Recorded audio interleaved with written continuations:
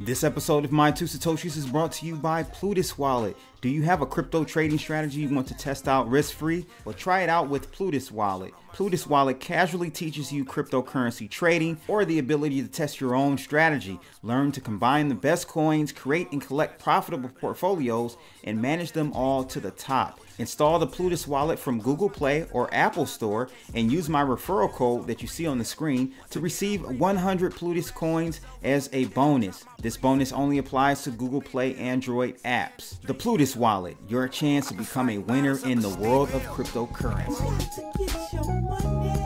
Yeah, it's your boy Crypto Blood, and welcome to another episode of My Two Satoshis. It is June 10th, 2019. Shout out to my man Into the Fray. He's always dropping those hot tracks. He said he wanted me to play some Pimp C Shattered Dreams. This is that UGK classic right here, man. And Tyler D thinks the same. Thanks, guys, for the song request. And shout out to everyone out there on YouTube. What's good? Hope you guys are doing well today. Uh, we're going to get right back into it over the weekend. I took a little break, but I did, and I want you guys to check this out. I did a nice kicking it session with my man Gaston Cruz out from Long Beach very very good uh, conversation we had about crypto education and just getting people aware of cryptocurrencies and how they should view what the asset is is it money is it an asset we had a great conversation about that over the weekend so i want you guys to definitely check that out when you get a chance. Again that's with gaston cruz. So today we're going to be talking about siam bank. They're denying that they had plans ever to integrate with XRP, though there were clearly tweets from them that said different. So I don't know what they're doing, but they're definitely denying they're working with XRP, which in, in my opinion, that's another reason I'm like, why even have XRP in your portfolio when these banks can do and create their own blockchain that, that can then connect with other blockchains at some point. So I don't see the need for an individual to invest in XRP when the banks at the end of the day want to have all the control anyway. They're not going to they're not going to relinquish that type of control to um, a private company. You know what I mean? So we'll see. Uh, we'll take a look at this. It's out of Coinspeaker, and also, man, this is this is pretty depressing. I saw this this morning. I gotta give a shout out to Wolfpack Cryptos. He dropped this to me early this morning. Woke up to this link and was devastated. Essentially, guys, CCN is going to be shutting down due to a Google update that happened on, I believe, June 3rd or 2nd, somewhere around that. Yeah, June 3rd. They did a uh, Google did a core update with their Google search algorithm and it totally messed them up. That meaning CCN uh, messed them up to the fullest. They were self-funded you know they grew they've been going for over six years almost this update really hit them hard so we're going to take a look at this very uh, unfortunate and it should show you and drive home to you guys that we need to start embracing some of these more decentralized uh, media outlets or platforms, social media, all that.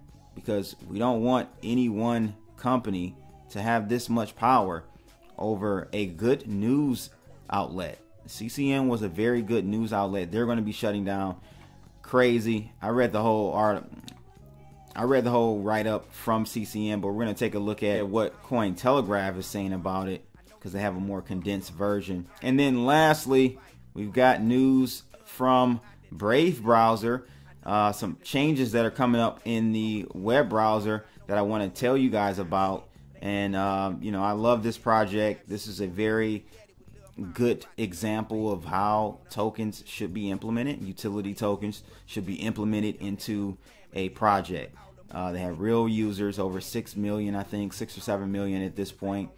They have a they have a real solid business model, and their tokens are being utilized. This is the type of project you want to use as a almost as a uh, litmus test or barometer for other projects. So many projects out there that it's been a year or two or even even close to three years and, and there's still no strong utility uh, use case for the token.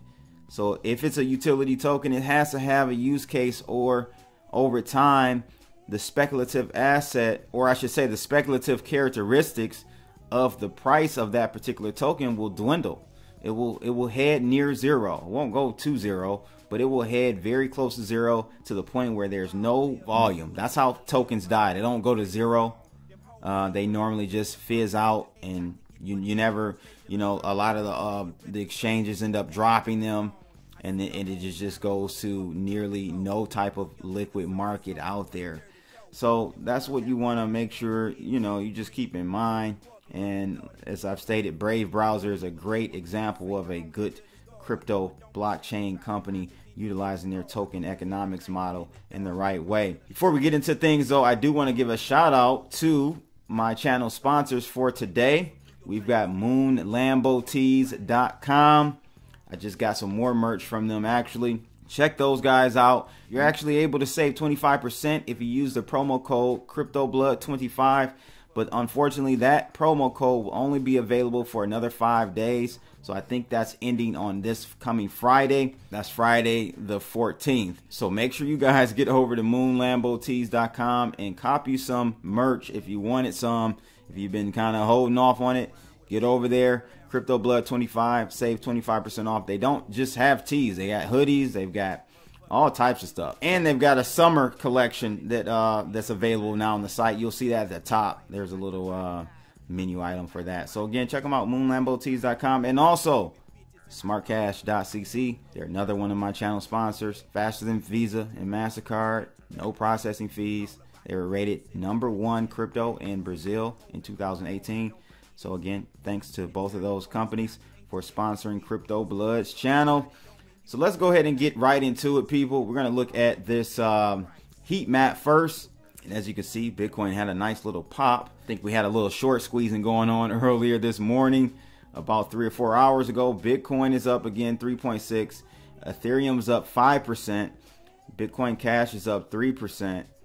Litecoin up 11%. It's been on a rip, people. Uh, this is ahead of the halvening coming up. I think we've got, uh, I don't know how many days are left, but it's coming up. So you got a lot of FOMO with that. And um, I think what will happen is after the halving, you'll see a pullback. That's normally what happens. Just letting you know. Be prepared to maybe take a little bit of profits after the halving occurs. But as you can see here with the chart, we had a nice short squeeze that occurred a few hours ago. Took out a lot of shorts, I'm sure and uh, we knocked right up against 8100. That is still, you know, kind of where I was telling you guys at this point where we needed to uh, break above. And as you see, we're right there at the moment. I'm still feeling like this area is somewhat of a resistance point, 8100, 8150 area. So if we don't see any action above that, um, we're to head lower. But I will say, you know, this looks like a triple bottom. That definitely looks like a triple bottom. So we'll have to see what happens here, people. But uh, we could trade in the channel. You know, this is a channel forming here. How many days now? Since the third. So about seven days worth of channeling going on here. Normally what professional traders would do is sell the tops, buy the bottoms. Until some type of news comes out that creates a breakout up or down either way. But it looks like we are in a channel right now, people. So just keep that in mind. The first article is out of Cointelegraph that I want to really address out the gate is about this CCN. I can't believe they're shutting down people. They cite Google update for loss of search visibility and they rely solely on ads to pay their over 60 employees. So it says their top cryptocurrency media site, CCN, is shutting down today, June 10th, according to an announcement on their website. The post written by Jonas, don't know how to say his last name, director and founder of CCN Markets and Hawkfish AS, states that the reason behind the closure is a large drop off in traffic from Google searches following a June 3rd Google Core update. The founder writes that the crypto news site's traffic fell over 71% on mobile overnight. The founder notes that while traffic levels have been low in the past, the addition of new members to the team means that they cannot continue to operate in these conditions on advertiser revenue.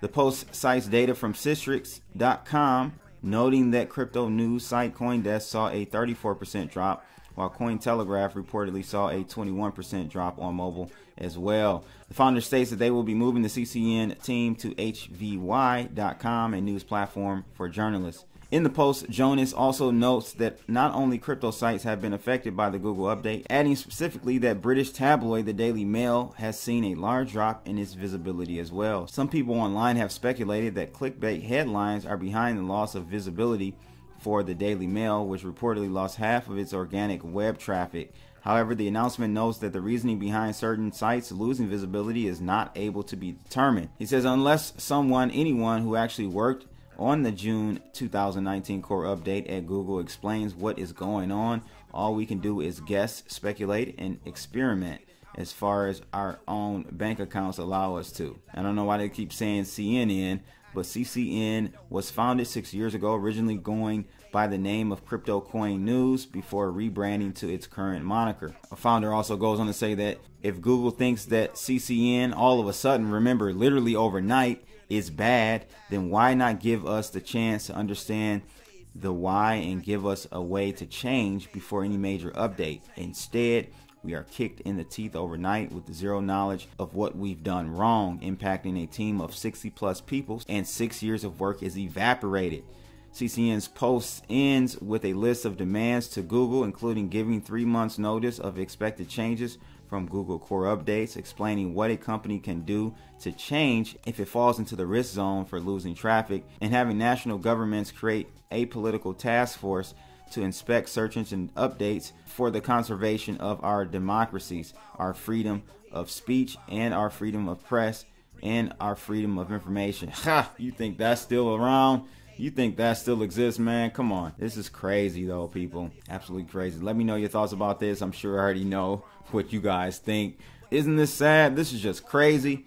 And it really just shows, um, you know, where we are with, with things. I think we're too centralized with these uh, mega corporations. I'm not like Elizabeth Warren, though. I don't think we should be uh, breaking these companies up, but at some some way we need to have some type of oversight or something, man. I don't know what. You guys let me know any thoughts that, that you may have. Do we just move to a new platform? It's kind of hard to to move everyone off of a Google platform because they're so pervasive. It's not going to happen. I'm just be honest. It's not going to happen. Uh, they're they're on our phones. They're in our homes. They're in our cars now. Like it's just crazy. Google is everywhere, and um, we got to come up with some effective way to, to fix this. I don't know. You guys let me know again. But RIP to CCN.com. Man, I used to curate news from there all the time. Second article is coming out of Null TX, and it is about the four upcoming Brave browser changes to look forward to. I wanted to get this to you guys. Thought this would be of your liking. Says here the first one Reddit tipping is in the works, they say. While Brave mainly aims to reward content creators by allowing others to tip them in BAT, the company also looks beyond traditional offerings, whereas Twitch and YouTube are the more popular supported content creation platforms as of right now. It is crucial to explore every single option. Integrating support for tipping Reddit users, assuming they are verified, is one way of ensuring the Brave browser becomes more commonly used in the future. While it remains to be seen how successful this integration will be, there are precedents for tipping Reddit users. Reddit Gold is the most obvious example, albeit several cryptocurrency tip bots have come and gone over the past few years as well. As such, there is a genuine chance this new feature will spark a major increase in overall Brave user numbers.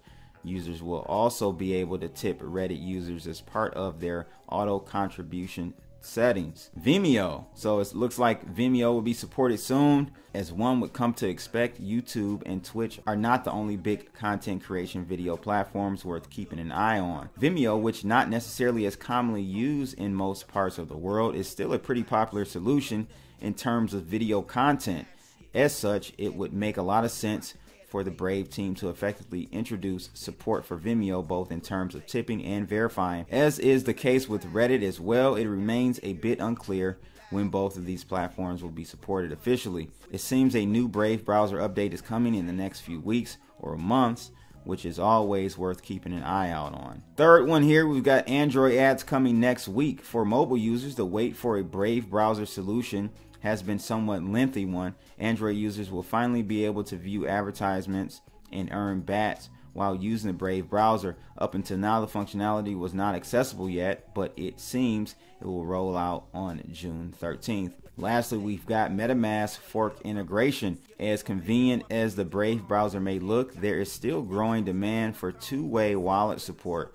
Screenshots confirm the upcoming browser version will include MetaMask fork support, which is something a lot of people will be more than happy with. This will also make it easier for users to transfer their BAT balance to and from the browser's built in wallet, which will improve the overall user experience. All things considering, it's still a good change. So I think those are great.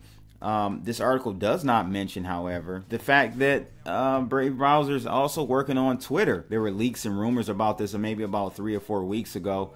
So I think that's something else that they're working on, and we should be uh, looking out for. And I just want to definitely give a shout out to all my BAT supporters, for those who tip me on YouTube, on my website. Um, greatly appreciate it, guys. I really do. I wish there was a way I could see who tips. Um, that way I can give you a direct shout out. But again, thank you guys for that. So yeah, let me know your thoughts about Brave browser. Do you use it? How do you like it? It's it's it's pretty much on par with with uh, Chrome now. You, you are able to you know have your extensions installed. This thing is definitely better than Chrome. So hats off to Brave browser for doing their thing. Um, I actually didn't expect anything less, seeing that the CEO helped create Mozilla. It's a no-brainer. That's why I went with them as far as uh, buying tokens that are what 10 9 cents. Last article for today, guys, is Siam Commercial Bank denies plans to use XRP after all. Thailand's largest commercial bank, the Siam Commercial Bank (SCB), which recently tweeted on possibility of launching an XRP-based system, decided suddenly to issue a statement according to which the bank has no plan on using XRP. It says, as we already wrote, Ripple was under the strange pump action from various Twitter personas and even media. However, one bank decided to say that's enough and put the end to this fake gibberish. Thailand's largest commercial bank, SCB, denied on Twitter that they are planning to start using Ripple's token, XRP. Contrary to earlier indications, the bank's denial was communicated in a tweet published on June 7th, which was a couple days ago. However, there seems to be a little misunderstanding since it's obvious from the photos screenshots above that this bank had obviously intended to use or include XRP into their system. The text that has now been removed from Twitter from June 5th says, and as you can see below, XRP system will be announced soon. Please follow our official schedule on social media again. Huh, interesting. Reaction from the XRP focused community followed almost immediately. Some blame the bank for incompetence, while others believe that with this denial, the bank is just trying to adhere to terms of non disclosure agreements. One of the explanations that some think is most probable is that a member of the SCB's social media team was unaware that such an agreement existed and acted without consulting the bank's legal team based on the bank's previous interactions with XRP. However, how can that even be possible when on May 18th, one user came across the bank message and published a snapshot in Twitter that said, Send money abroad today at the cheapest rates via Ripple. It goes on to say this goes in line with the bank's previous statements. Bear in mind that in May, SCB said that they will be using blockchain technology, but that further announcements would be made regarding using XRP and added it would be using blockchain technology. They actually conducted a cross border payment trial using Ripple. Interesting. So, uh, what do you guys think? I mean, it says here that Thailand is still one of the most progressive uh, crypto adopting countries when it comes to banking and, and, the government or whatever. But I don't know. You think that they're just kind of covering their tracks and they're actually going to use XRP, or do you think that uh, they've reversed for some reason? They've seen something or didn't couldn't come to terms on, on something, and they reversed their deal with XRP, or I should say Ripple. I don't know. I don't really care. I just wanted to report on it. Thought it was interesting and would love to get your feedback on that, people. That's pretty much it, though, for today, ladies and gents. Got to give a shout out again to my man, Into the Fray. He's always dropping those hot tracks. Pimp C, Shattered Dreams. Rest in peace, Pimp C. Long live UGK. And make sure you guys like, share, and subscribe to support this channel.